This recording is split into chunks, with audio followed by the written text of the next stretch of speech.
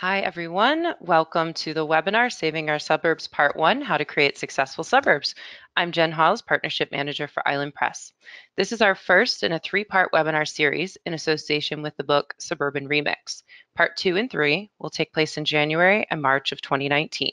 January 29th is the date for Part 2 of this webinar series. Please look out for more information on uh, the future webinars for this series uh, in the future. Our webinar today is hosted by Island Press. Island Press is an environmental nonprofit book publisher. Founded in 1984, Island Press's mission is to provide the best ideas and information to those seeking to understand and protect the environment and create solutions to its complex problems. Island Press elevates voices of change, shines a spotlight on crucial issues, and focuses attention on sustainable solutions, like we're doing today with this free webinar presentation. I'd like to thank our amazing uh, webinar sponsors uh, for helping to make this event possible.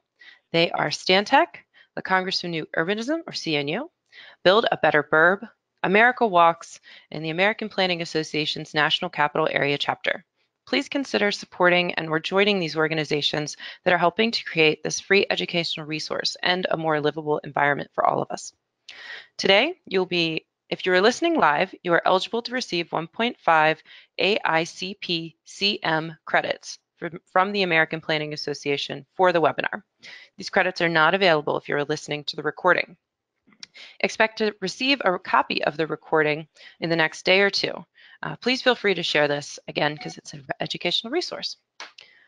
Our webinar panelists today include David Dixon, Chris Leinberger, and Jason Beske. They are presenting, oh, they will not be presenting in that order.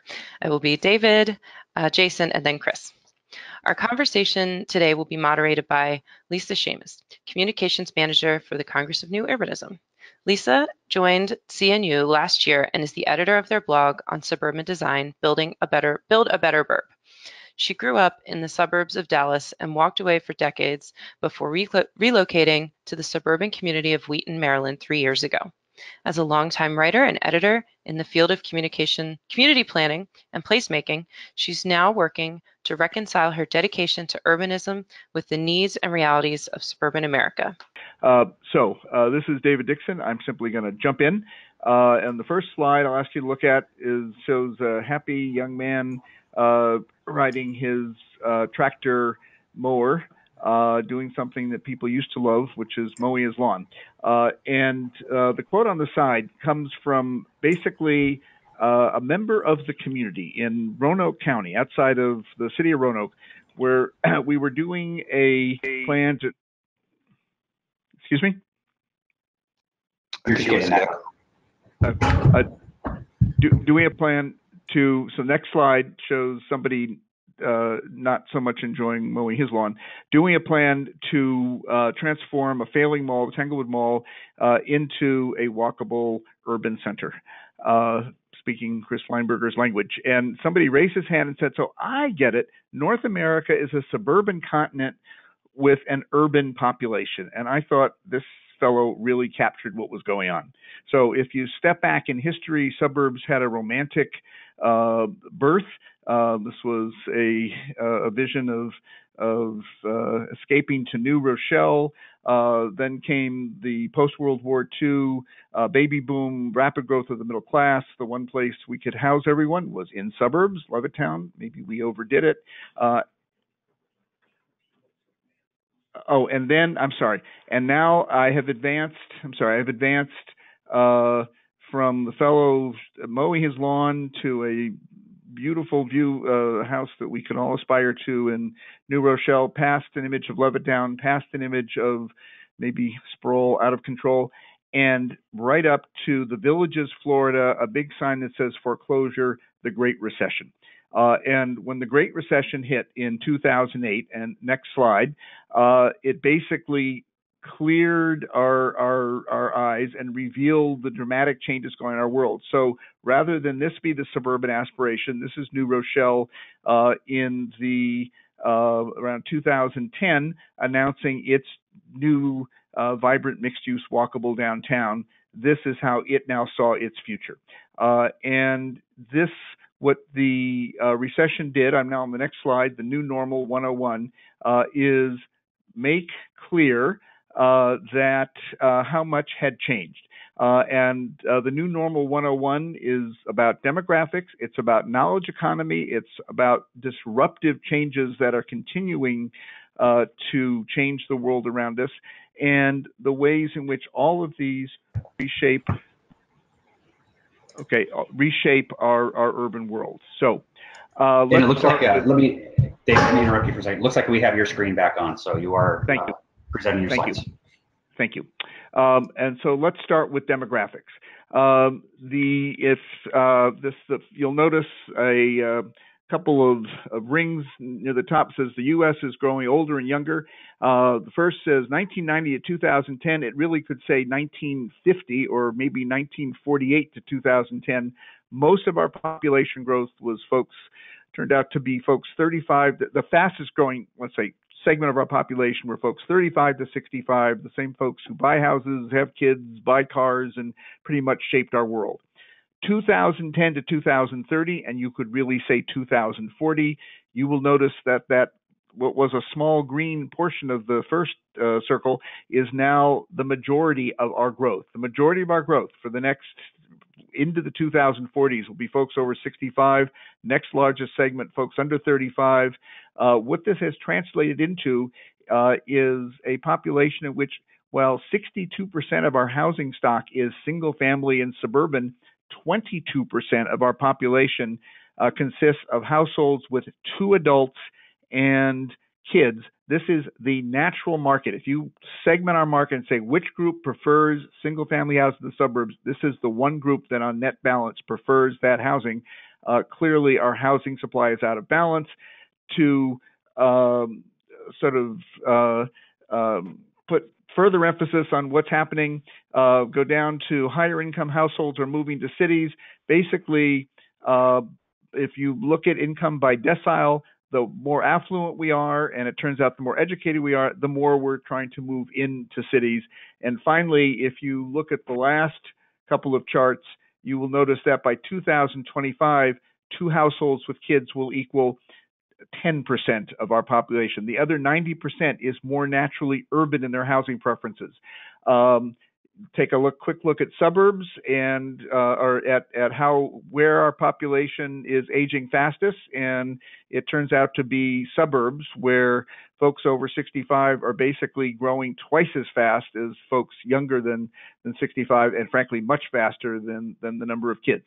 Um, if you're as old as I am, and I don't know if any of you are, um, uh, this is what the world looked like when you turned on television as a kid. And the one thing you'll notice is there are lots of bright eyed, I have to say, white kids. And each of these happy families uh, turn on a television today or look at a film or look at your, your, at Netflix. And this is what we tell ourselves we look like. Uh, and one of the uh, really profound messages here. It's not only do we have all sorts of different households, uh, but 80% of net new households for the next 20 years are going to be singles and couples. And remember, it is net new households that buy houses uh, and basically shape our regions. So, no surprise, what is happening? Uh, uh, urban housing prices uh, are rising much faster than suburban, uh, particularly since 2000, starting before the Great Recession.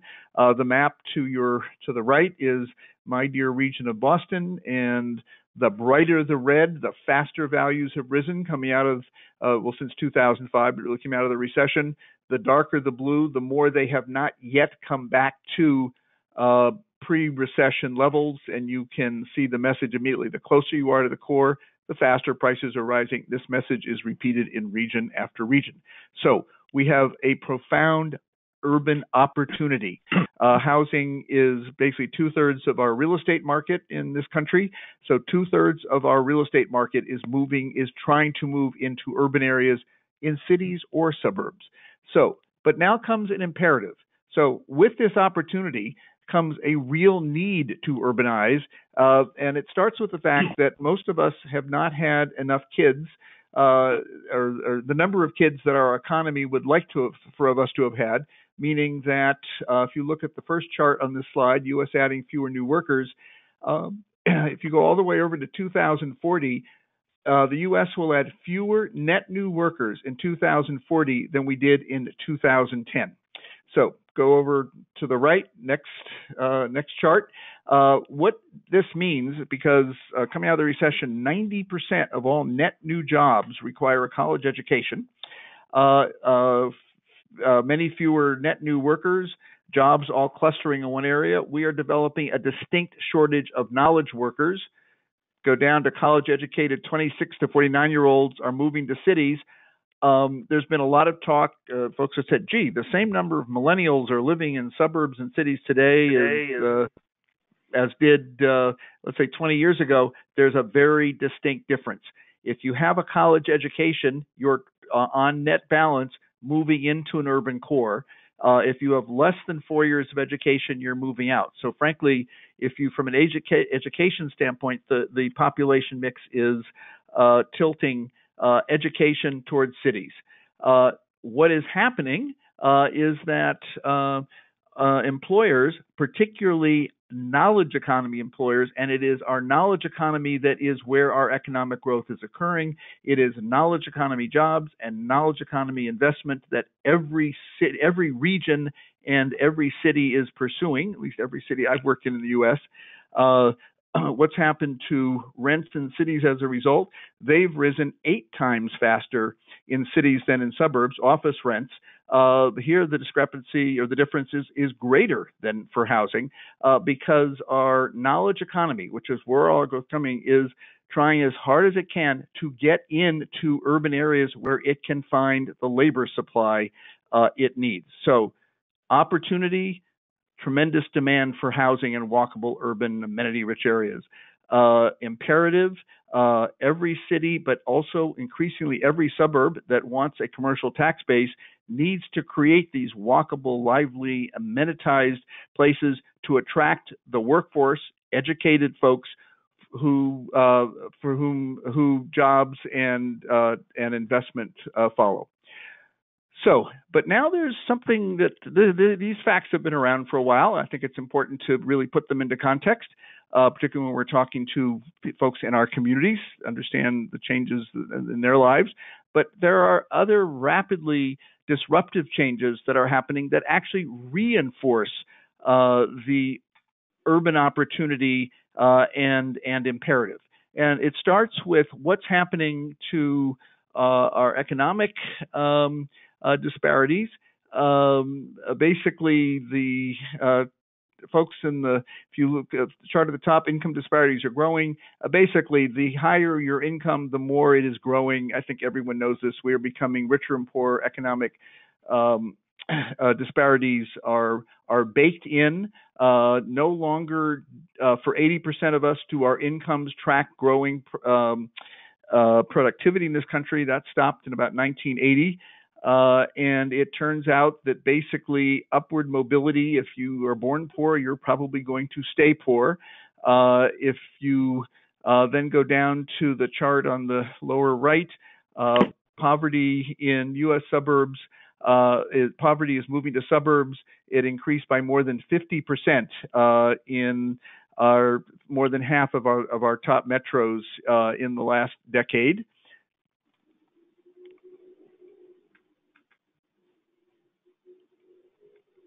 Uh, what is particularly interesting to note, uh, those cities that have been really successful in creating lively or, or, or, attracting high wage jobs, knowledge industry jobs, look at the larger red circles on this map, are the same regions uh, that are busy, that are frankly exporting poverty to our uh, to our suburbs.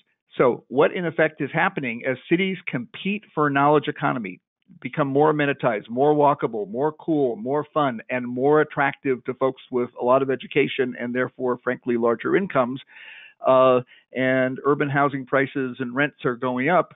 Uh, there's been a lot of displacement.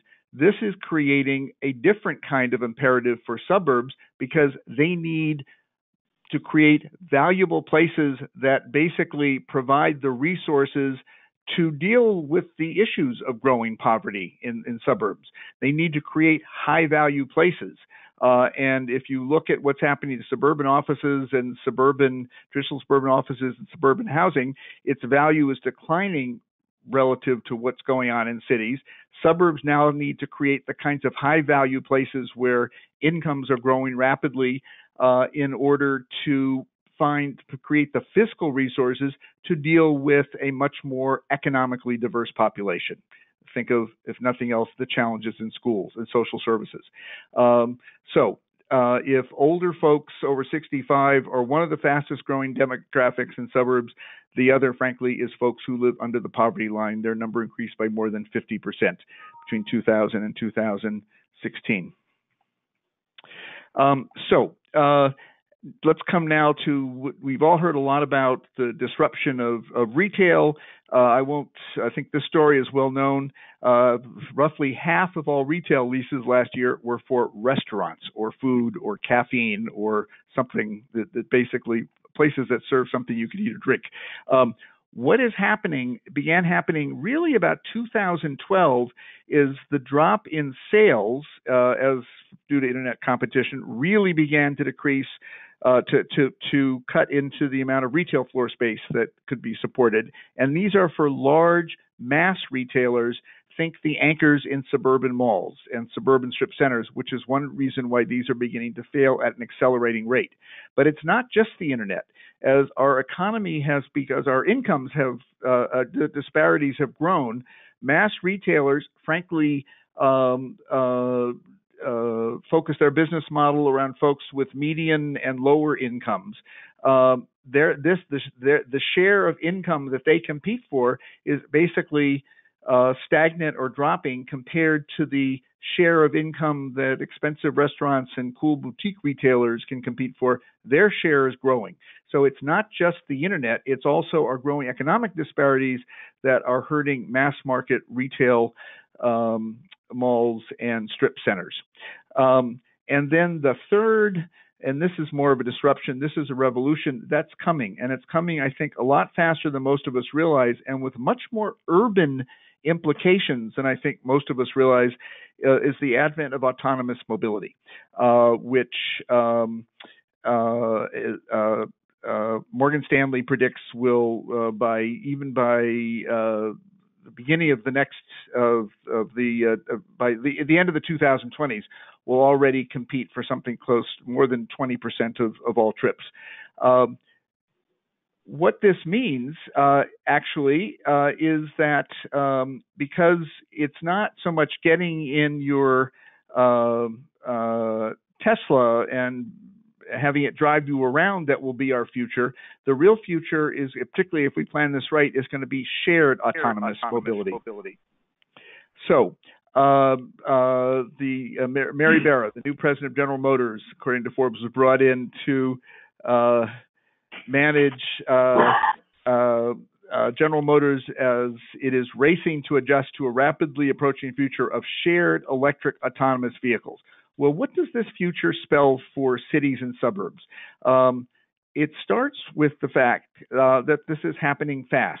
Um, shared autonomous vehicles will go into mass production in the early 2020s. By the late 2020s, 60% of our vehicles, shared or not, will have connected technology. This will be a real turning point uh, in how we develop because when your car has shared connected technology in it and you pull up to a parking garage, for example, you will not park your car yourself. If you'll excuse me, you will say to your car, go park yourself. And your car will park itself much more compactly and efficiently than you can. So the amount of space we need to park a thousand cars will drop from let's say 350,000 square feet to about 200,000, maybe 225,000 square feet, meaning we're going to have start having by the end of the next decade lots of empty spaces in our parking garages, and by the probably mid 2000, late 2030s, uh, uh, driverless vehicles will be the norm. Uh, a seven trillion dollar industry by 2050. So there are all kinds of implications, but one really critical implication. Think of a of a of a 20 year period in which there is an immense urban opportunity uh, as our population basically uh, 80% of, of households are singles and couples, is much more urban in its housing preferences. Uh, think of a, an economy that is seeking to follow educated workers into cities. Think of the demand in our urban cores.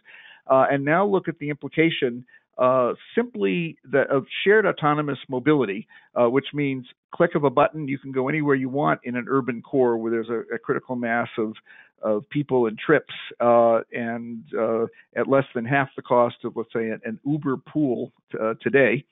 Uh, if in 2010, let's say we'd used Oklahoma City as a test case, a million square feet square feet of mixed-use development needed more than a million square feet of parking. Go to 2000, let's say 20, the 2020s, uh, 60% of vehicles are connected.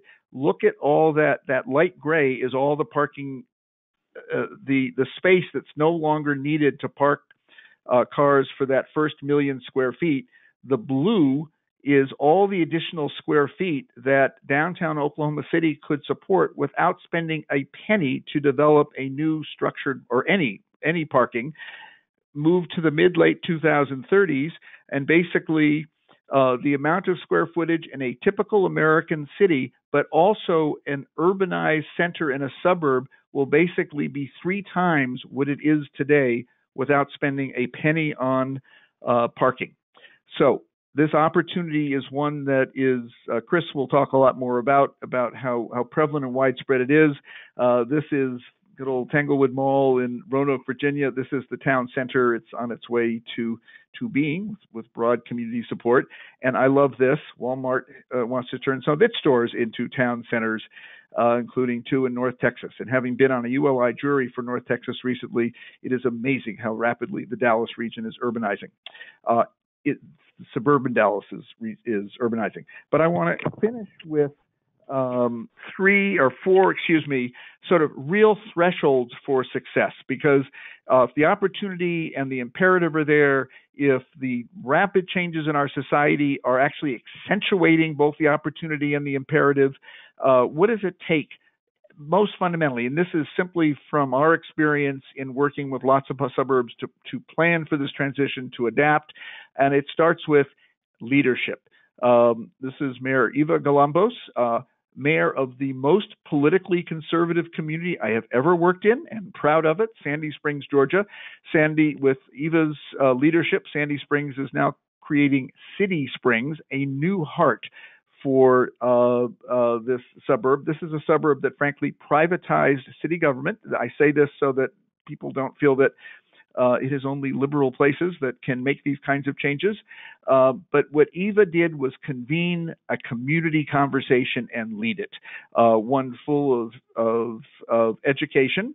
Uh, and she basically said that. Um, uh, this was an affluent community, very much like Dublin, Ohio, uh, another place that's moved far along. She said, uh, some of you may recognize this fellow. Um, it doesn't matter how successful we are today. What me worry? Yes, because of the uh, rapid changes in um, our demographics and our economy and the other changes coming. Um, Dublin, Ohio has created now uh, a walkable, mixed use, lively downtown Bridge Park about 3 million square feet uh, in the heart of what has long been considered the iconic suburb of, of Ohio and many, for many of the of the Midwest. Um, it takes partnership.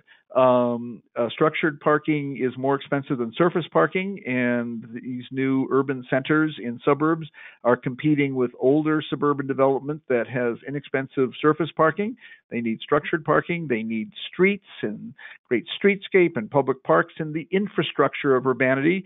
Um, Dublin invested about this is Bridge Park about 300 million dollars in Bridge Park, uh, which is just fine because developers of Bridge Park have invested several billion dollars in Bridge in Bridge in Bridge Park. I don't know of a suburban community that has not felt its investment in these kinds of partnerships did not pay back very rich dividends.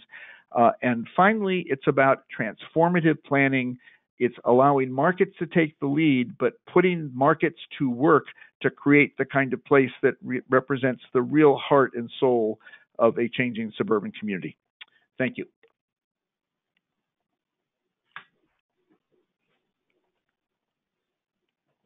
All right. Uh, thank you, David.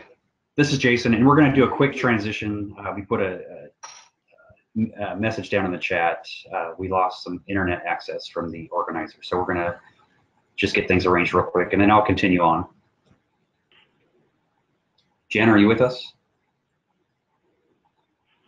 Hi, this think is if you can hear me, I am transitioning now. Oh, you're in. Okay, great. I am.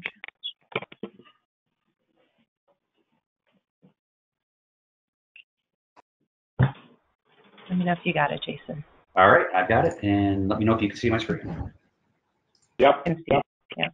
Excellent. All right. Um, so my name is Jason Beske, and uh, David and I co-authored Suburban Remix. And one of the things we talk about uh, beyond the thresholds David had mentioned is is placemaking. And uh, given the demographics and what's happening and the trends in the country for suburbs, how can suburbs really start to look at uh, social and physical placemaking in their uh, future endeavors? So what I'll talk about today is uh, placemaking from both those perspectives. From a social perspective, um, placemaking is guided by the belief that the social aspects of the community and personal well-being are of utmost importance.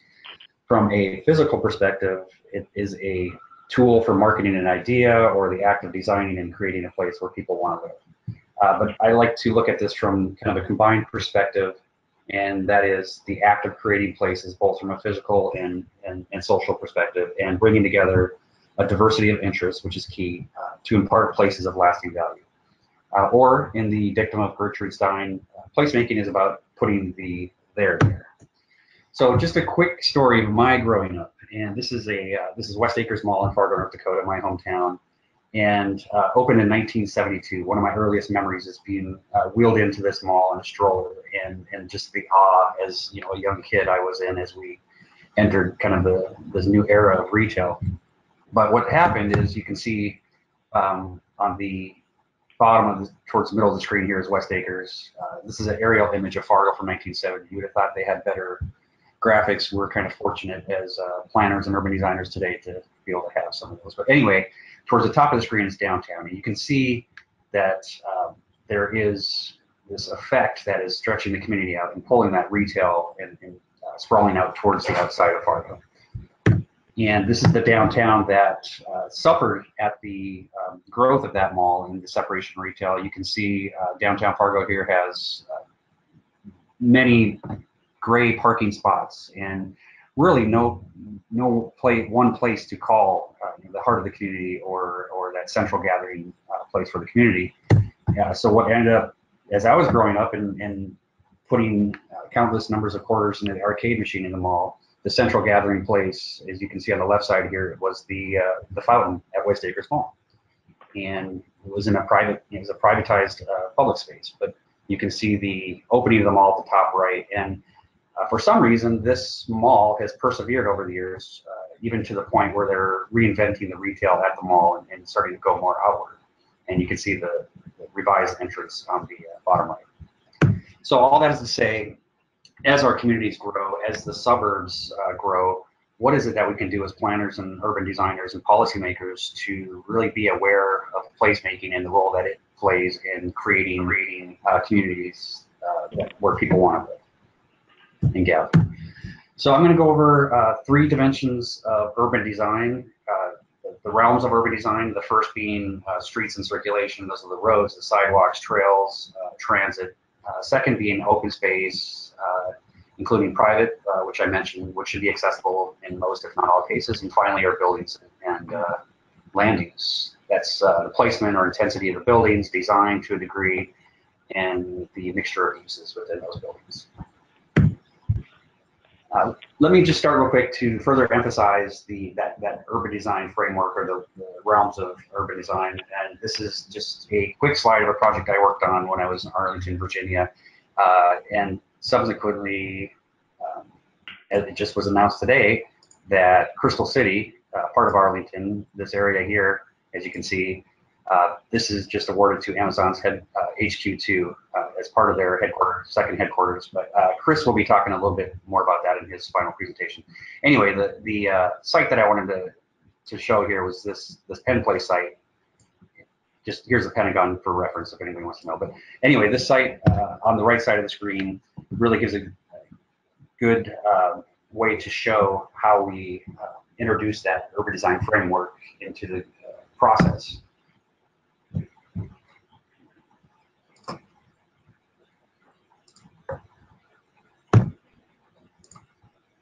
Uh, design guidelines were created, and I need to figure. Uh, the design guidelines were created really to talk about those um, those realms in that we set up the streets and uh, open space network and um, the Penn Place site being on the top here. But we set uh, uh, the blocks and street network um, in that in that site. We also looked at the open space network the open space network was key to what we wanted to accomplish in this area in that we wanted to make it a walkable and pedestrian friendly area, a place where people could gather. So that was uh, really important to create public spaces for people. And then ultimately on the far right in this diagram shows how the buildings then fit into that diagram.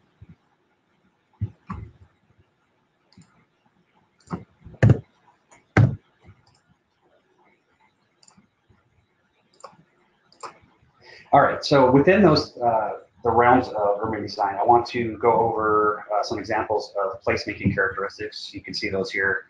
I would say key to this is really having a walkable and connected uh, environment as well as a multi-layered public realm.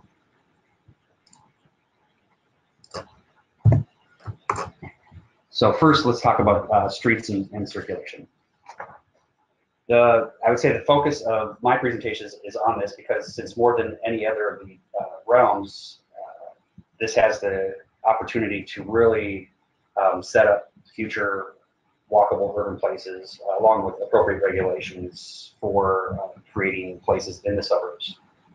And I'll just mention too that millennials are more prone to live in the suburbs that have a diversity of mobility choices. So as you try to attract uh, varied uh, demographics, uh, keep in mind that millennials would prefer a mobility mobility choices, be it in transit or trails, bike lanes, what have you. So two of the key uh, areas within uh, streets and circulation are walkability and connectivity. Walkability obviously being the ability to walk or desire, ease, and comfort uh, to be able to walk. And uh, connectivity being both internal connectivity within a development as well as the ability for that development to connect externally to new development uh, to the region and to other modes of transportation. Here are a couple examples. On the left, Bethesda Row in uh, Maryland, in Bethesda, Maryland, and you can see at the center that the street network is, is provides a good set of bones for future development, which uh, has been very successful in Bethesda and this is a previously an industrial area that was uh, basically retrofitted to have a mixed-use walkable environment. And then Reston Town Center on the right side, uh, and I'll go over this a little bit more in Reston, but you can see the grid of streets uh, in the uh, in the figure ground there. But if you look at the exterior of that, the grid kind of starts to fall apart a little bit. So here's an aerial of Reston, Virginia, and this is the town center. And I think Chris will talk about this a little bit later, but what Reston did right, uh, being kind of one of the earliest examples of walkable urbanism in a greenfield development, was put together those three realms of uh, development, of the urban design realms together. And looking at it from the streets and circulation standpoint, uh, there are three primary things that really uh, help Reston Town Center, that being a grid of streets, those laid out. The dash lines represent just those uh, paths that are accessible to pedestrians. There's also a transit hub uh, that connects to a very robust bus service uh, in and around the region, including to uh, metro stops that are nearby and Dulles Airport. And then finally, the regional trail, which is the Washington Old Dominion Trail, which uh, does lead into Alexandria, Virginia, and some of the first ring suburbs of Washington, D.C. Uh, looking at a transportation framework from a larger perspective. This is um, Tysons, Virginia, uh, previously Tysons Corner. And Tysons is a 2,100 acre area that currently contains 90,000 jobs, uh, roughly 20,000 residents, and 36 million square feet of non-residential development. So I would say uh, Chris will go into this a little bit, but this is one of the biggest opportunities in the country to get a suburban retrofit right. It's not a small area, it's a very large area, so there's a a lot of things that are going to have to be done to really pull together the pieces. But the goal uh, for this area from Fairfax County, which Tyson is in, uh, by 2050 is to have 200,000 jobs up from 90,000 and 100,000 residents up from about 20,000. To accommodate the, the growth, though, the, there's new zoning that was put in place that was adopted concurrent to the uh, 2010 plan, which also includes improvements in development review. So I would say I've worked in a number of communities, and one of the improvements we consistently try to make, particularly to uh, really put out uh, the ability to for developers to move through the process was improving the development review process and make it more developer friendly. However, while holding them to certain uh, improvements. This is the grid of streets on the left side. This is pre-plan, uh, and on the right side you can see a revised grid of streets that will be implemented. In 2013, the Fairfax County Board established a mechanism to fund what will be, what you're seeing here is a $3.1 billion plan to improve the roads and the transit in area. So the, the county itself will fund neighborhood and access improvements such as sidewalks, trails, the bike and, uh, bike and bus circulator routes. And redevelopment in the area will pay for the grid and with contribution rates that are tied to non-residential space and residential units. So as development comes in, that will help to fund the $3.1 billion plan. So overall, it'll be half uh, funded by redevelopment, half by new taxes in uh, Tysons transportation service district. A very ambitious plan, but it is a 30 to 40 year plan that, as if development continues at the pace it is, will uh, will fulfill the obligation of that plan. And here's just a picture of, of Tysons uh, intersection of the two main uh, streets there. This is 1936 to show how the suburb grew. Here's an image from 1993. Um, believe it or not, we did have color images in 1993. uh, here's 2013. You can see the Metro Silver Line coming through at an above grade uh, alignment. Unfortunately, it wasn't below grade, but uh, this above grade alignment does kind of give a futuristic uh, Jetsons type view through Tysons as you ride the Silver Line through this area. And this is an image from today where the cranes continue to go up uh, with a mixture of uses and filling up that grid, uh, the plan, and also uh, contributing to the open spaces throughout the area. And moving on to open space. Uh, this is uh, just a quick anecdote on this image. This is uh, from Reston Town Center, and you can see a pavilion at the, at the kind of the top there where a bunch of people are hanging out. This was the earliest portion uh, built of Reston Town Center, and early in the plan there was a um, requirement for a cultural amenity or uh, some type of a museum where you see this pavilion today.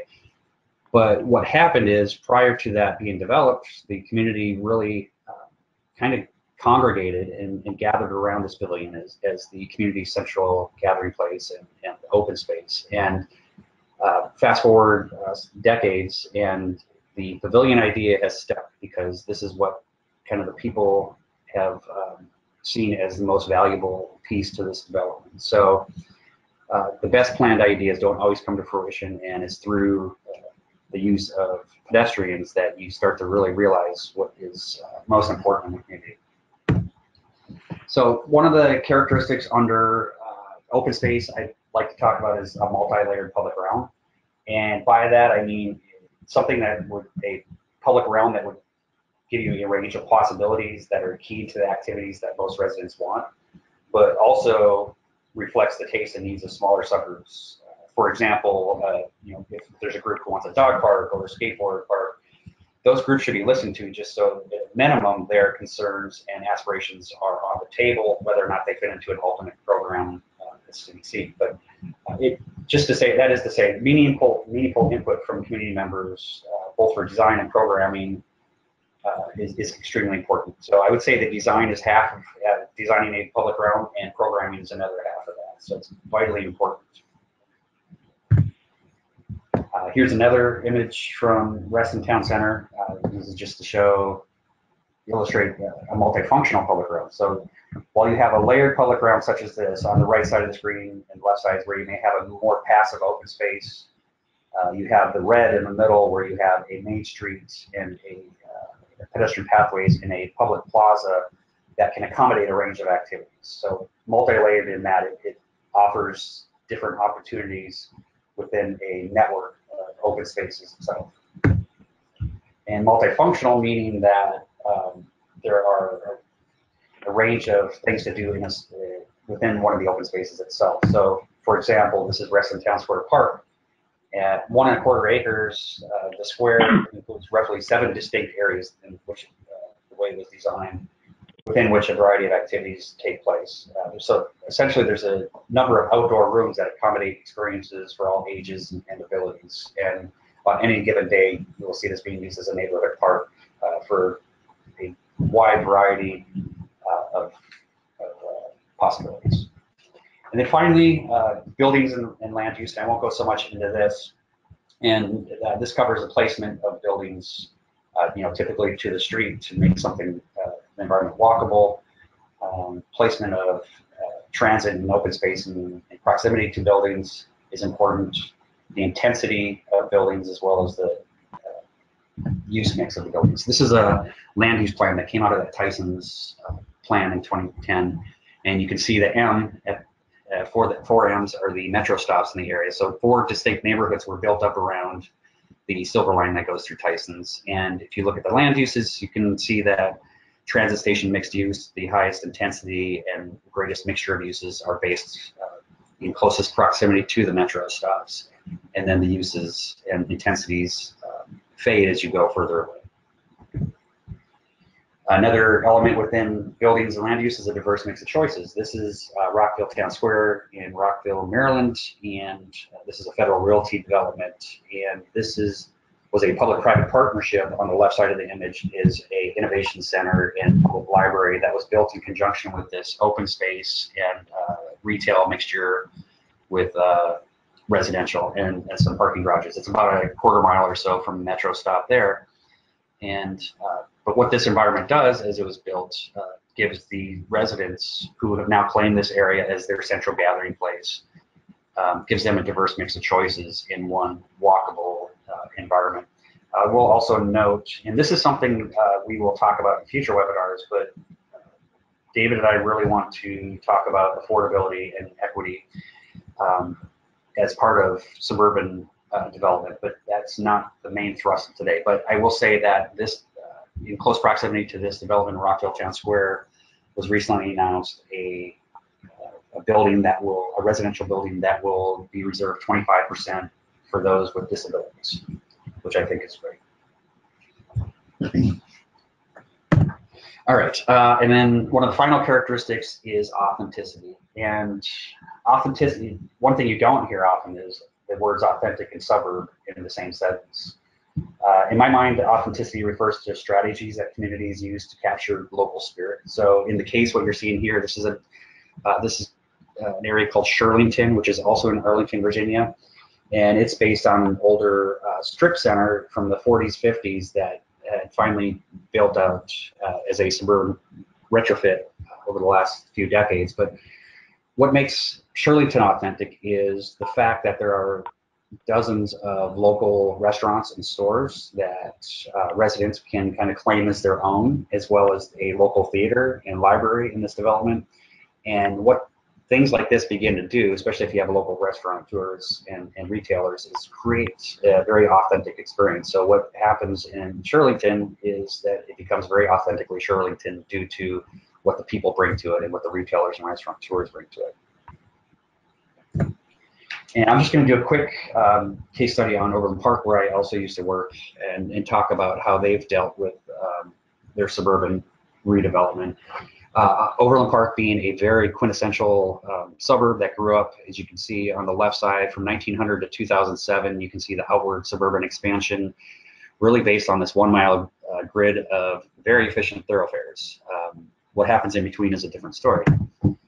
But in 2007, uh, the community adopted a Vision Metcalf plan, and uh, what that did was uh, led to the development of a local policy framework that was supportive or or uh, supportive of adopting a regulation uh, that would start to implement the plan. And I'll say that Overland Park really um, ran into the, the plan was adopted in 2007, which is right at the beginning of the recession.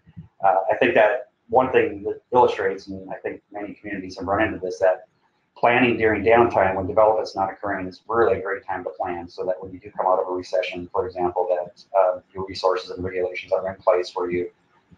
Uh, but one thing this did do, since development was not occurring hardly at all in, in the Overland Parks downtown, it allowed for, as the recession faded and development started to come back, it allowed for incremental growth in, in the suburb. It wasn't a massive new town center was plopped down in the downtown, but rather it's it's incremental and it's one building at a time that has kind of started to build this plan.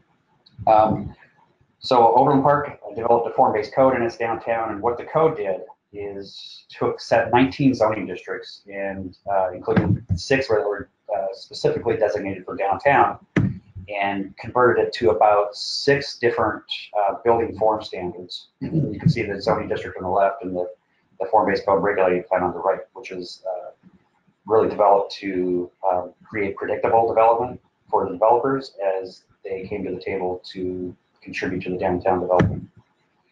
One of the issues that was we were facing uh, as planners and community was the unwillingness of community members who typically uh, they were they were used to strip developments uh, sprawling out far to the south, but it was uh, difficult for them to oftentimes grasp that they were we were recommending doing things a little bit different. So what we had to do was show them that of a 75 uh, square mile town, we're actually looking at to to uh, test this on a half mile basis in the downtown, half square mile basis. So we had to show people that there was there are baby steps that can be taken before rolling this out, uh, more walkable uh, mixed use development to the rest of the community. So what uh, downtown ended up looking like in the plan was based around, you can see at the center of the green shed, uh, which is an existing farmer's market. But the plan uh, really looked at using that as the authentic center of the community based around it. The downtown Overland Park today has, uh, based around the farmer's market, a culinary center, uh, oil shop, uh, spice shop, things that really have grown up to be authentically Overland Park. Uh, as the downtown continues to grow, actually there's been you know, since the form-based code came out, there's been over 126 million dollars in development, over uh, hundreds of residential units, thousands of square feet of retail and office, and millions more square feet proposed. So the plan is starting to take root, and I, I believe as the plan grows, it will only reinforce what was set up as creating an authentic Overland Park experience in the downtown. Uh, so finally, I'm just going to leave a couple uh, words, uh, emphasis that I would like to people to remember. When you're looking at streets and circulation, you want to make sure they're walkable and connected. Looking at open space and public realm, they're accessible and multi-layered. And then when you're looking at buildings and land use, that they are engaging and diverse. And uh, with that, I am finished with my portion. Thank you. Great. Thanks, Jason. I'm going to try to hand it over to Chris. Great. And can my slides be seen? You just got control. Let's see if we can see them. All right, I see. Looks good. You can see them? Okay. So we're here talking about the urbanization of the suburbs, and it is the major trend of the next generation. And um, the thing that you should know about my perspective is that it comes from the private sector. For 20 years, I ran and owned the largest real estate consulting firm in the country. Then I became a developer building walkable urban places. And this is now my think tank academic phase of life, trying to understand it. And by the way, you noticed that a lot of these examples that um, have been used have come from Metro DC, and you'll see some more from Metro DC, in fact, some of the same. And that is because Metro DC, my research has always shown, is the model by which we're building this country, which is not to say that, as David said, there's a lot of great urbanizing, uh, a lot of great urbanizing suburbs taking place in Atlanta, in Dallas, in Los Angeles. But um, Metro DC got there first, and that's the reason I moved here uh, 13 years ago was because this is seems to be where it's happening. Um, at least first. The other thing to note is, and, and this would change a little bit some of David's observations, that his observations are actually understating what's you know, how powerful this trend is, because he was using data that we've all been forced to use over the last half century of dividing all of our research into urban versus suburban. And that concept should be thrown out. There's no, there's no use for it anymore. What you should be thinking about is walkable urban places and drivable suburban places. That hyphen is intentional. And basically, walkable urban places can take place in both the city and in the suburbs. But the thing is, is that walkable urban places are fundamentally different. That for those of us that have been around this business a long time, drivable suburban is, of course, how we cut our teeth, which is separate land uses, uh, very, very low density, sprawled out all over creation, and the only way to get around is by cars and truck. And and it likens, in my mind, that we got very good at driving NASCARs which go about 150 miles an hour and they can only turn left or go straight. What we have to learn how to do is learn how to fly fighter jets, which goes 600 miles an hour. You can turn left or right, go up or down, get, go up five miles or crash and burn in seconds while you're being shot at. It's a much more complex set of skills. But if you do follow that more complex path, which is what the market's demanding, you start an upward spiral of value creation. That within walking distance, and that's key, you've heard this many, many times, that within walking distance, which is about 1,500 to 3,000 feet, as you add more assets, as somebody adds more assets, the value of the place, the quality of life, the vibrancy, the property taxes just start this upward spiral of value creation. And now, there's no such thing as a free lunch. The issue that needs to be consciously addressed is, of course, affordable housing and a workforce housing policy, a conscious at the walkable urban place level. So when you look at the country the way that we do at, at George Washington and also at Brookings, where I, where where I also hang my hat, as I mentioned, two ways of building the built environment: walkable urban, drivable suburban on the left, there's two regionally uh, there's there's two economic uses of land use. Local serving on the right is um, bedroom communities. 90% of the square footage is residential. 10% is support commercial. And then the other use of land from an economic point of view is regionally significant. This is where the wealth is created. This is where jobs locate.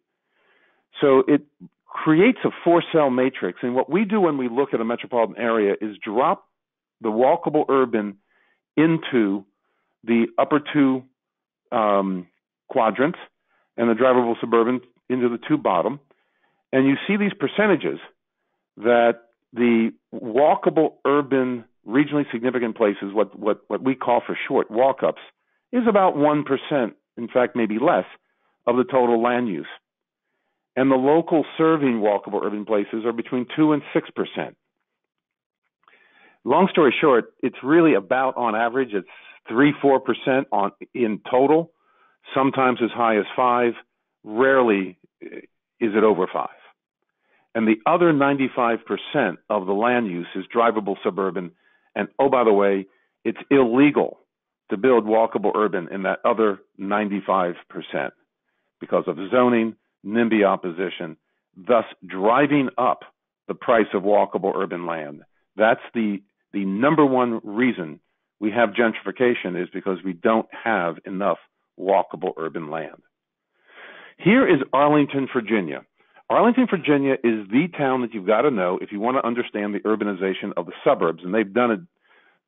Uh, that they started sooner, earlier, and faster, and with more enlightenment. Not that they're perfect, um, but they've got 11% of their landmass is walkable, urban, regionally significant walk ups uh, that is generating tremendous benefits for them. And then they have another 20% of their land that's local serving walkable urban places. So they've got a third of their uh, of their total acreage is walkable urban, highly unusual, very high numbers. Here's how Metro DC lays out. So you can see the square, the diamond, I should say, in the middle. That's the old District of Columbia, the original District of Columbia.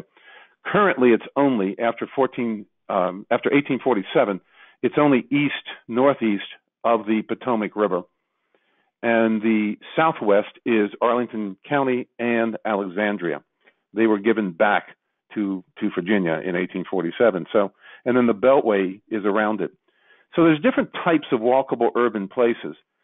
We have those that start in the downtown, uh, that start in the center city, such as downtown DC.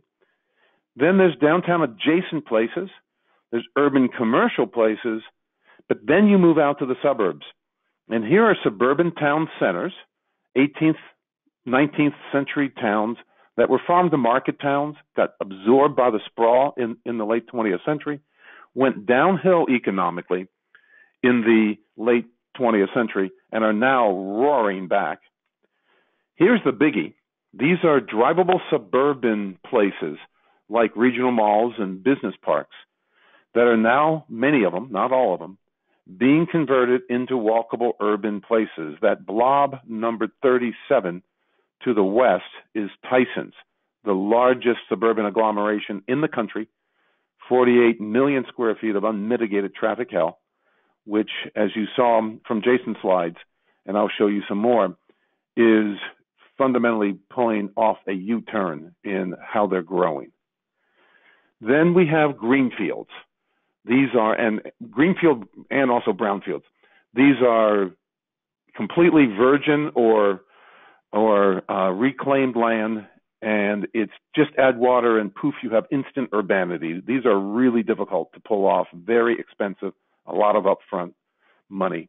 By the way, 22 up there to the north is the Kentlands, very famous new urbanist project.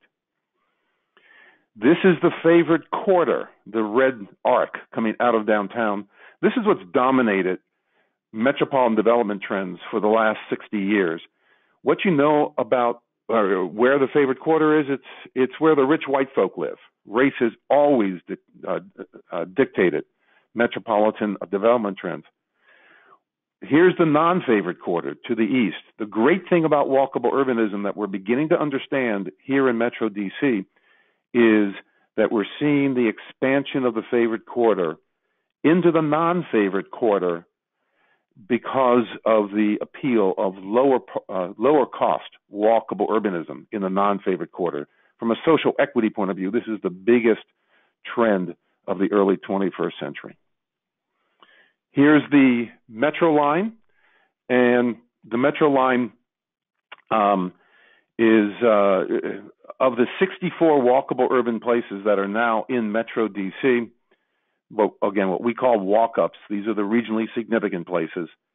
80% of them are rail transit served, but 20% are not. So it's not impossible to do walk-ups without um, without transit. So an interesting thing about DC as well is how it splits between the district, the center city, and the suburbs as far as where the walkable urban is happening. And 49% of the total square footage of walkable urban development in this cycle has gone to the District of Columbia. And 51% of the total square footage has gone to the suburbs. We think this is a indicator of where the rest of the country is going, that it's at least 50-50 between city and suburb. And I think in the case such as Dallas, Fort Worth, it's probably 60 40. So here are the different types of walkable urban areas in the suburbs. We have major town centers that I showed you in Washington. What we've seen down in Dallas Fort Worth is small town centers that are actually becoming regionally significant. They don't have to have the density that we've seen in these major town centers. Then in the lower left-hand corner, the redeveloped drivable suburban places, again, business parks, regional malls being converted into high-density walkable urban places, and then finally greenfield and brownfield development. The thing about the, the product mix of these places is that they're fundamentally different when you look at downtown product mixes, where it's, as you can see, 83% here in Metro DC of the downtown walk ups are office space and only 1% retail. And the fastest growing, but it's only 6% right now, of the total square footage is residential. When you go out to the suburbs, you'll find that less office, far more retail, because many times they have regional malls that have been converted into walkable urban malls, and a much higher percentage of residential.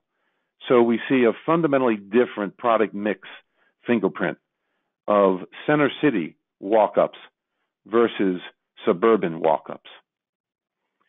So back to Arlington. This is really important because this is one of the great lessons they've learned.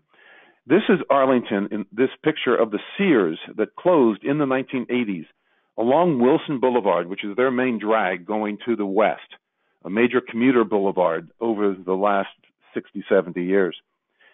And the Sears store closed, and to the left is the big box, it's empty. To the right is the former garden center, and where the picture was taken is the is the tire and car repair center, all closed in the 1980s. This is the same shot, same perspective today. What you're looking at is um, the the garden center is now a Whole Foods. There's an Apple store in there. There's a lot of restaurants. There's housing immediately behind it and higher than the retail, of course. And that housing's selling for six to seven hundred dollars per square foot. Two blocks north and south of this picture, it feathers back to single family housing, what we call the aurora in the suburbs of the impact of these great walkable urban places on the surrounding drivable suburban suburbs. What has happened in the auroras is that they have achieved the highest priced housing in Arlington on a sales per square foot basis, on a dollar per square foot basis. And the reason for that, they have the best of two worlds. They can live in suburbia and walk to 50 restaurants, walk to the metro center, maybe walk to work. And there, and as a result, we're seeing in Arlington a hundred percent price premium for for those suburban houses that are in the Aurora because of that best of both worlds as as compared to a similar house a half mile away that's not uh, that's not uh, considered walkable. But the other thing that's happened is that this 11% of the land that I mentioned earlier in Arlington that's comprised of regionally significant walkable urban places 25 years ago when it looked like the picture in the upper left hand corner it represent it represented 20% of the tax base of Arlington and falling Today, it's 55% of the tax base. They've basically shifted the tax burden in Arlington County onto mixed use, walkable urban places. And one of the big complaints, of course, is always what about the schools? Well, it turns out that all that housing that, that you see there, because about half of the all new development over the last 25 years has been housing, much of it rental apartment great concern. Oh my God, we're going to actually have to educate poor people. That's so un-American. So uh, instead, what happened is that all these folks moved into the rental apartments and these condos, and then they forgot to have kids. That they are paying school taxes, but they have a one eighth generation ratio of school age kids per household than those single family houses two blocks away. So as a result, Arlington has among the best schools in the country. So let me show you some of the other examples throughout this region and throughout the country. Here's Bethesda. It's a suburban town center just north of the District of Columbia, and it's really exploded. This is where Marriott is building their new high rise world headquarters, and they're moving out of a business park about five miles away. Here's another suburban center, Silver Spring. This is the most diverse walkable urban place possibly in the country as far as racial and income integration. This is where a Discovery Channel um, has its headquarters, its worldwide headquarters, though they are moving to New York.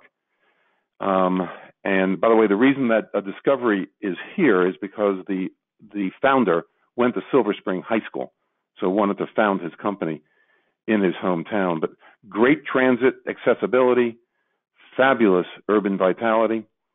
But it doesn't. It's not obviously just D.C. Here is Bellevue, Washington, um, right across Lake Washington from downtown Seattle. Incredibly intense, walkable urban place. Coming back now, looking to drivable suburban redevelopment. This is one of the most important ones in the country. This is the Mosaic District. This, this, by the way, may look like renderings. These are real photographs. And this is a place that six years ago was a big box retailer surrounded by a huge surface parking lot. And they put in the grid that Jason just talked about high density, mixed use, walkable urban it's exploded. And this is where the classic Ozzie and Harriet family now congregates with their kids. Here's one of the most important drivable suburban redos in the country. This is White Flint, north of Washington, D.C. It's next to the White Flint Metro Station. This is what it looked like six years ago a 20 acre, god ugly strip mall. They tore it down. This is Federal Realty. They tore it down. This is phase one. This is the entrance into phase one. And this is now, this is just a rendering, of course, but this is actually what it looks like. I need to get a, a better picture of this because this is all up except for the two buildings numbered 13 in this image. The entire grid of streets is in, retail on the ground floor, housing, office, hotels up above. It's been a remarkable success. It's it's called Pike and Rose. And by the way, this is where Marriott used to be. Marriott used to be in the lower right-hand corner photo, and well, they actually still are as they're waiting for their high-rise office building to be built in downtown Bethesda. The upper left-hand corner is another business park building. Both of these have been vacated by their anchor tenants or, or in the case of Marriott, will be. So that's known that in two years Marriott's leaving.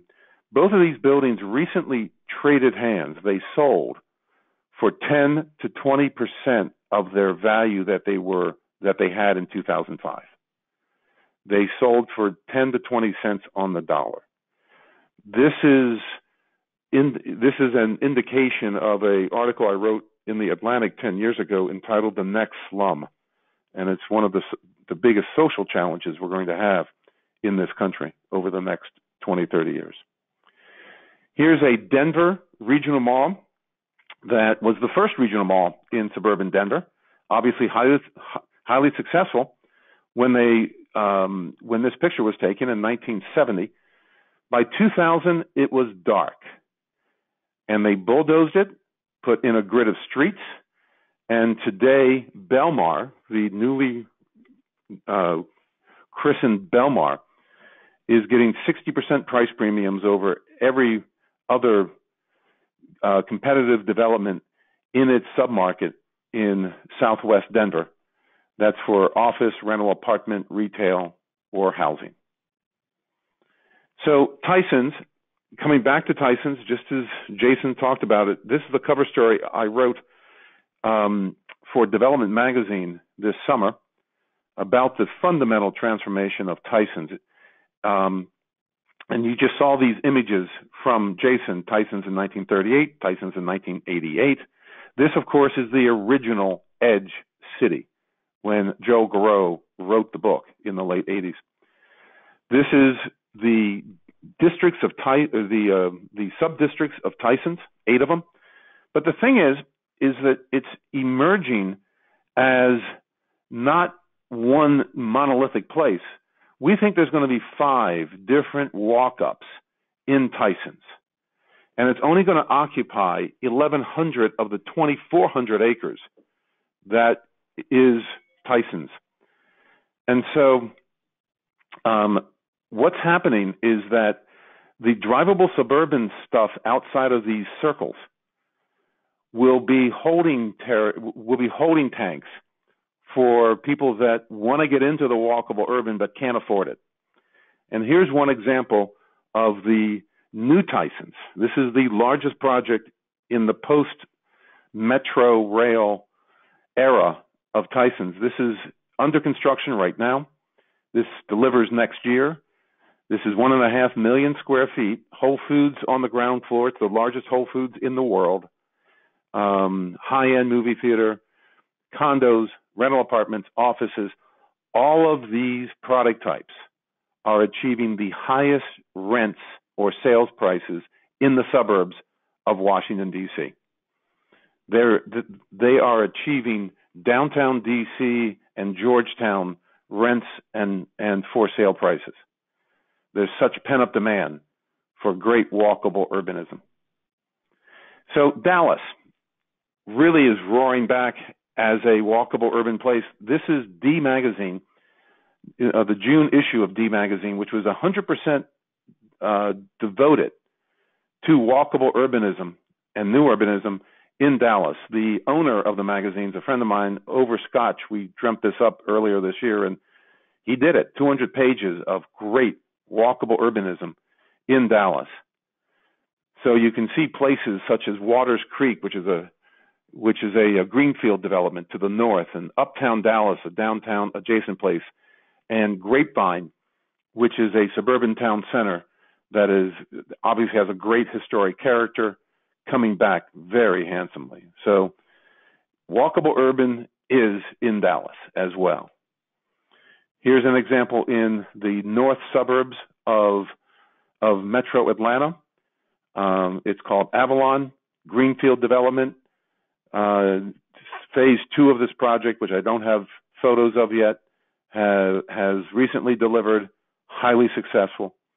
Here's a project that my development company has done outside of Philadelphia, about a mile from the King of Prussia Mall, which is the largest regional mall on the East Coast. And here is a conversion of a golf course into a town center. By the way, when I mentioned that you know, 90, you know, 90, 95% of all land in metropolitan areas, it's illegal to build walkable urbanism. This project took 12 years to gain the entitlements, and the only way, way we got it was to win at the state Supreme Court.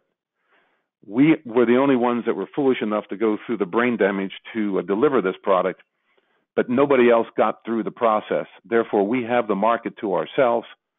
It's incredible price premiums, but this just points out why we have an affordable housing problem in this country. We don't have enough walkable urban land. And then the granddaddy. I always have to end with the granddaddy, Reston Town Center. I worked on this as a consultant back in the late 80s. Ironically, Mobil Oil was the developer of this walkable urban place. But this is the one that started it all as far as greenfield walkable urbanism. It, it uh, next year it gets metro rail service. And then, of course, Crystal City. Now in the headlines, uh, Crystal City is, is, now the you know this the second or third headquarters of of Amazon, and it is a it's it's going to see a fundamental transformation. So let me end by talking about one thing that's been missing in the suburbs that we've learned in our center cities how to do. And that's what we call the, the fourth level of governance that is missing in our society. We have, of course, federal, state, and local government. We have two levels of governance that's missing. One is at the regional level. We all know that. The Council of Governments and and um, transit agencies are all pretty weak and don't have enough resources. But the other one is place management under government un, under local government. These are business improvement districts, main streets. These are crucial to create great walkable urbanism. And it takes a, I liken it to a three legged stool that the public sector has to set the table, the private sector invests 10, 15 dollars for every one dollar of public money. But the key is place management. And most place management is paid for by the private sector And again, it takes the form of business improvement districts, community improvement districts. They have a lot of different names, main streets, but it is key to make these places work and it needs to be working 24 7. One of the best examples of place management is Clyde Warren Park in downtown Dallas that links downtown and uptown Dallas with a five acre park on top of a 12 lane freeway. And it has been a remarkable economic and social success since it opened three years ago. So, the urbanization of the suburbs is the major development trend of the 21st century. And we have a lot of work to do. And it's a very exciting time to be in real estate and urbanism. Thanks.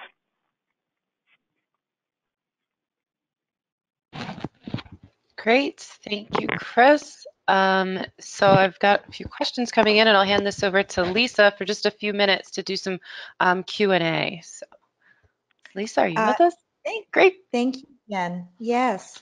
Um, so, uh, so, I wanted to start off with a question. I've, I've received a few that I'll, I'll be queuing up. Um, Jason, you mentioned briefly that in your work on Suburban Remix with David, that the two of you really now want to go further in depth on suburban poverty. And a report from Brookings, uh, several reports from, from previous years, have found that poverty is growing faster now in the suburbs than anywhere else in in the um, of, of, any other type of place. Um, so I wonder if you could talk, either of you, either David or you, talk just a little bit. And Chris, please feel free as well, because you touched on this in your talk, just to to address um, more specifically what we're going to need to do to um, to be ready uh, for folks who do not have a lot of disposable income in the suburbs. Uh, Jason, do you want to start, or do you want me to jump in? Oh, David, I was thinking maybe you would address Dayton or some of your other um, projects. Sure. Um, so I'm going to well, let me speak more broadly. First of all, you have we have to to, to accept the fact or sort of start with the fact that when folks are displaced from an urban area that has a um, uh, for better or worse a much better network of social service um, pro, uh, government agencies and and, and uh, nonprofits in place to uh, and often transit maybe bus but you but ways to get around if you can't afford a car. And most folks under the poverty line in this country find it very difficult to afford a car. When you're displaced out to a suburb you lose access. Uh, you also lose uh, proximity to those social service agencies and other services that that have been very helpful. Uh, you also your kids lose access to schools that frankly are accustomed to educating a broader broader cross section of folks from an economic standpoint. I'm being being polite here. Um, so one of the things that's really important, and Chris talked a lot about the the fiscal benefits of walk-ups. In our experience at good old Stantec Urban Places, when we plan a, a new um, a suburban downtown, uh, redevelop a, a, a, failing mall or, a, strip, a, strip, center. Um, the value, the fiscal value goes up generally sometimes between by eight or 16 times which is critical. Uh, if you look at what's happening to the basically declining real estate tax base, which is the main tax base, and, and retail tax base, the other main tax base in most suburbs, is critical to fund the services that folks need. But beyond this, we also have to make sure if we create a, a walkable, amenity rich, uh, animated place, the kinds of, of, of, places that Chris just literally ran through, and, and actually across the country. He, le- he left Washington. The kinds of places I saw in Dallas earlier this year. Um, these places are far more valuable. We have to tap some of this value to pay for economic diversity, affordable housing. It, you can't you can't expand housing supply to create affordability, you have to invest in housing that people of low incomes can't afford. And once again, are for a whole bunch of reasons that go beyond this webinar, we live in a society that no longer can lift people out of poverty by growing our economy. Those benefits uh, go to, at best, the top 40%, uh, to a large extent, to the top 10 and even 5% of us. Um, uh, Jason and Chris, do you want to jump in?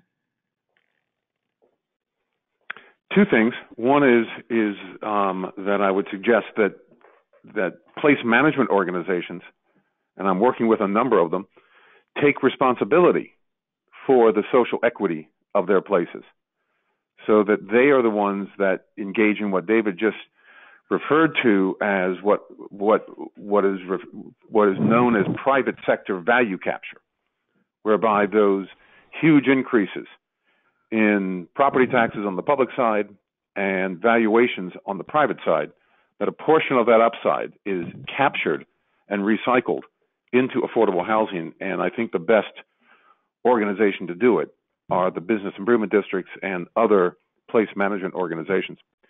The other big issue to address the next slum problem, again, I wrote about this first 10 years ago. So, um, and it's going to be a very intransigent problem because it is, as David mentioned, low density, spread out social dysfunction. It's going to be very hard to service it. Um, but the best way is to build walkable urbanism in the non-favored quarter. So in Prince George's County, in Prince William County, here in Metro DC, uh, on the south side of Dallas, on the south side of Atlanta, where high density mixed use walkable urban places, and you can bring opportunity to those neighborhoods. Now, a lot, you know, one of the big problems that people are going to have with that is, oh my God, you're bringing opportunity to me. That means I'm going to be driven out. And so you have to make sure, A, it doesn't happen, it's managed, but B, educate to, uh, to, to help people understand that bringing opportunities for more jobs close to where you live is a good thing.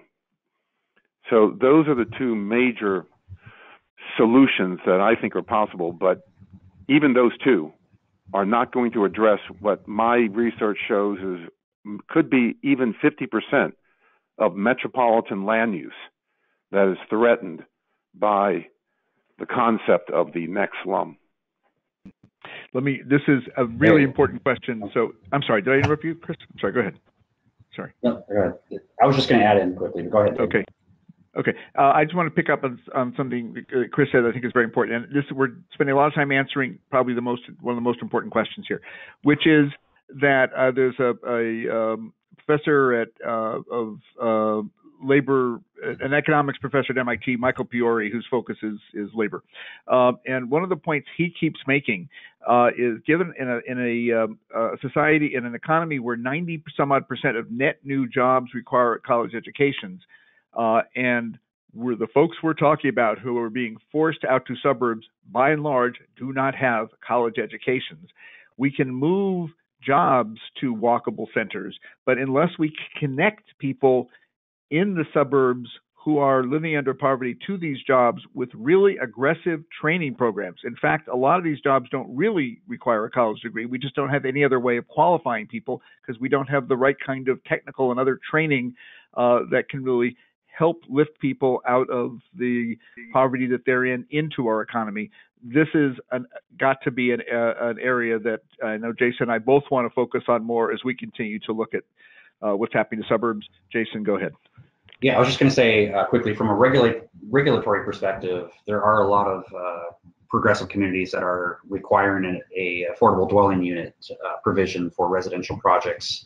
Um, they're not perfect. There are ways for developers to get out of providing uh, affordable dwelling units in a project, but in the DC area, there are a number of communities that are requiring you know, anywhere from 10, 15% of units in a residential development uh, be affordable to uh, to a certain percentage of the, the area median income.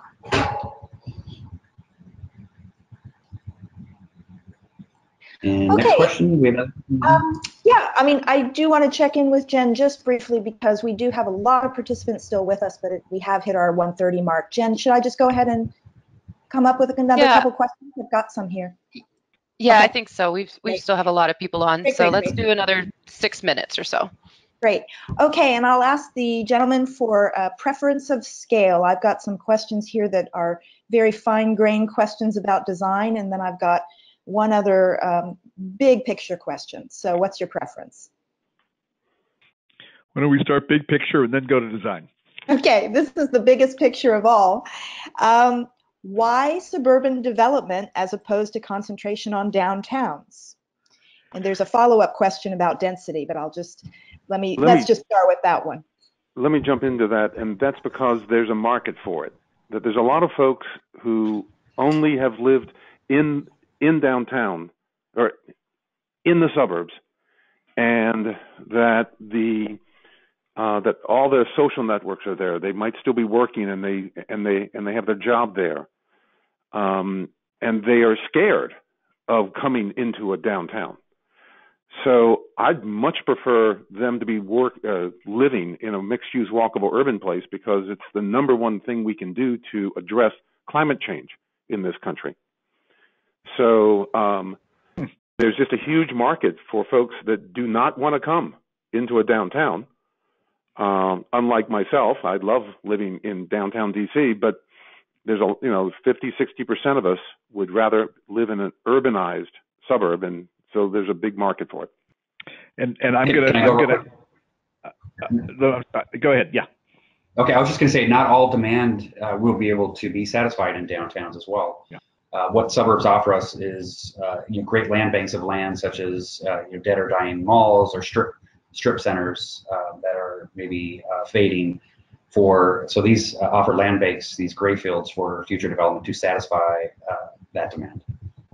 in a world where, in a country where literally 90% of households, let's say by the late 2020s, will be uh, either have no kids or only have one adult in kids, there are other implications, and on balance would prefer urban living. As Jason said, there's just no room in our urban cores. But but beyond that, uh, as Jason said, the suburbs hold the failed shopping mall uh, malls, uh, strip centers, office parks. When, when we're out working with suburbs, these are these are a, a tremendous resource. These are now redevelopable. These are the these these are the place where we can actually accommodate the, the large bulk of this demand. When Chris says the urbanization of suburbia is the the issue of our era going forward, or I forgot how you phrased it exactly, part of that is it's because it's the only place that we can accommodate our much more urban population and, and society and values. Okay, um, great. That's thank you. Um, someone asked a very specific question. Uh, three experts here. What is the density of urban versus suburban? Is there a rule of thumb? This is Chris. My my Yeah. my rule of thumb is is above 1.0 FAR. It might go down to 0.8 FAR floor area ratio, um, but from one it can go all the way up. I this morning I was up in Midtown Manhattan. That's the most dense place, of course, in the country. That's probably a 40 FAR. Most of the the urbanizing suburbs are going to be anywhere from one to probably four, at most five FARs. So, you know, anybody that says that there's going to be a Manhattanization of Arlington or hmm. Topeka or, you know, fill in the blank as far as any town or suburb, uh, it's not going to happen. It's the Manhattanization is not happening. It's a much lower density, again, probably between one and five FAR. And so this is David to, to jump in and, and uh, from another perspective, get to uh, Chris's one as a th- FAR as a threshold. The, the measure we use is how much density, primarily of housing, housing supports, does it take to bring a block of walkable Main Street to life, which is what most people, when people basically live in a community where you can walk to shop, to eat, to have fun, et cetera, they begin to think of it as, as urban. Uh, and it turns out that if you can get about one to 2,000 housing units, and that might be very roughly an FAR one to two, within a five minute walk, depending on incomes, you've got enough disposable income to attract the kind of core, the compact critical mass of retail that would bring a block of Main Street to life. Uh, and uh, Uh, and this is that it doesn't provide all the uh, doesn't support all the sales this retail needs. And again, much of this retail these days, when I say retail, think restaurants, food, experience. Uh, but it's enough to attract the retailers who then create a destination that works. And what we are talking to uh, cities and uh, to, to sub- suburban communities from a planning standpoint, or with our own developer clients, what we basically say is if you can't get at least a thousand units within a five minute walk, that's a quarter mile, that's an FAR of roughly one, you really don't have much of a chance of bringing a street to life. Maybe you can. If you can get to 2,000, you've got an excellent chance. Okay, and I think unfortunately this probably will have to be our last question. We've gotten some some great great questions, um, but this one specifically for suburbs seems an interesting one. How do hotels impact authentic placemaking and general development of a walkable place? Our suburban city has a large amount of hotels located primarily in the areas where we are focusing mixed use walkable development. Hotels can be a great uh, land use.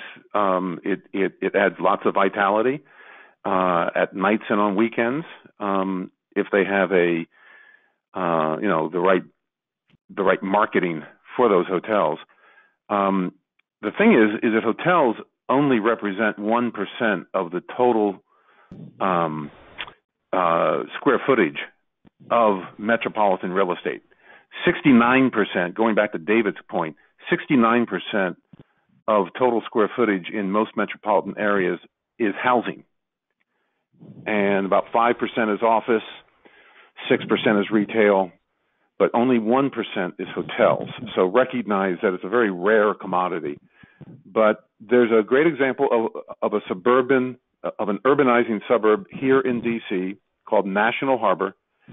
And one of their major economic legs to their stool is convention oriented hotels.